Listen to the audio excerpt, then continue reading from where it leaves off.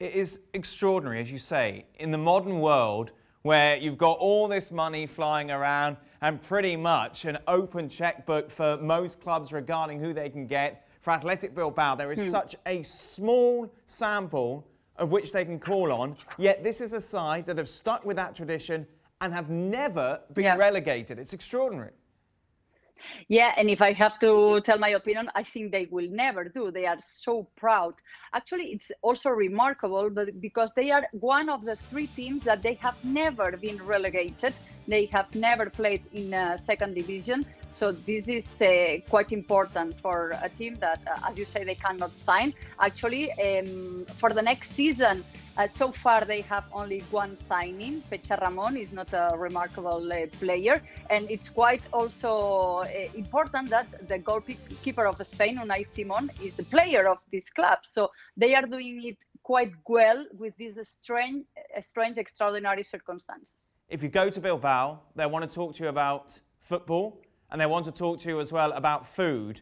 Pinchos is such, yeah. a, such a brilliant idea in that you have all your tapas and then you have a cocktail stick in each of the tapas that has a colour on, and at the end of your meal, at the end of however long mm. you've spent eating, you hand those cocktail sticks over, and that tells you how much you have to pay. The food there is sublime.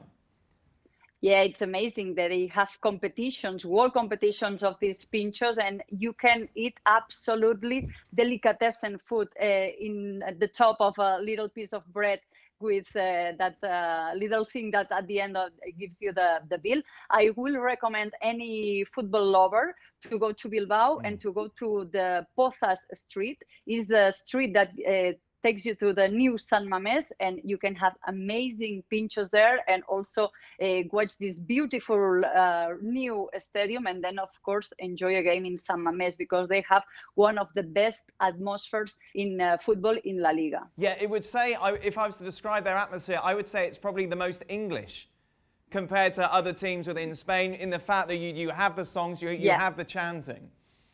Yeah, I think yeah, yeah, definitely the more English. Yeah, I would say maybe I'm not sure if it's the best um, atmosphere, the, the the best noise. Probably it's Sevilla. They are more Argentinians, I think.